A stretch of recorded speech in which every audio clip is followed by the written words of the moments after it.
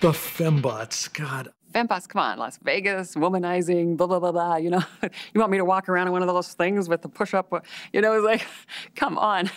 the writers on, on the Bionic shows and Bionic Woman, we, we were given pretty much complete freedom. I had hired Arthur Rowe to be story editor for me, and Arthur was a mainstay along with Jim Parriott uh, on the series. And one day we were talking about, well, we've got this world of robotics that we're in. Suppose we have really create some real robots. And I think it was Arthur who said, well, what about if they're all women and we could call them fembots? And I said, oh, Arthur, that is really stupid. I call them fembots. That could be really cool.